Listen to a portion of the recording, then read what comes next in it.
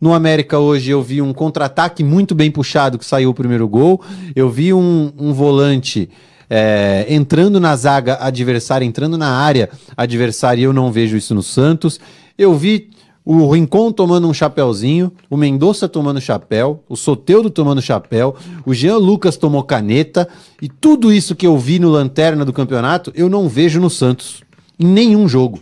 Não tem volante que entra na área, não tem meia que ajuda a tentar fazer um gol também, não tem drible como teve o do América. Então, o Lanterna do campeonato tem um repertório, pelo menos demonstrou hoje, muito maior, muito melhor do que o repertório do Santos que mesmo com todas as dificuldades, no final do primeiro tempo teve a chance clara de empatar o jogo com o Marcos Leonardo, que errou uma cabeçada a menos de um metro do gol.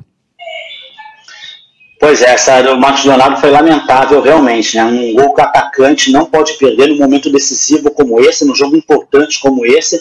Isso aí, é claro, tem que se lamentar.